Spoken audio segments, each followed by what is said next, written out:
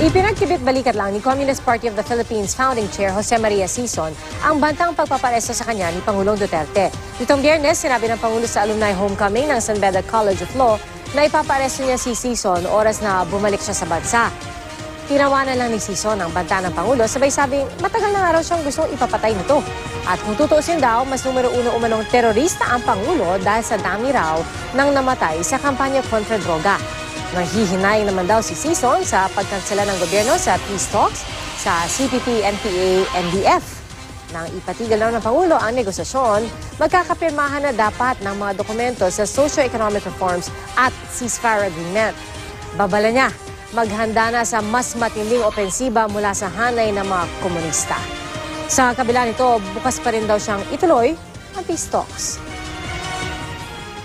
Kahit na anong init ng uh, palitan ng salita ngayon, kung ano, kung talagang uh, magpakita si Duterte at kung sino man, um, uh, at uh, ay, siyempre, uh, principal si Duterte sa kabila eh, kung uh, uh, gusto niya ng peace negotiation, mahirap tanggihan yan ng NDF.